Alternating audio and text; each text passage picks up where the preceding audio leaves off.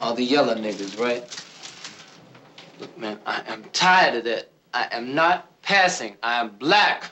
Do you hear me, man? Do you understand? I am black. I'm a nigga. You understand me? I was born black, I live black, and I'm gonna die probably because I'm black. Because some cracker that knows I'm black better than you, nigga, is probably gonna put a bullet in the back of my head.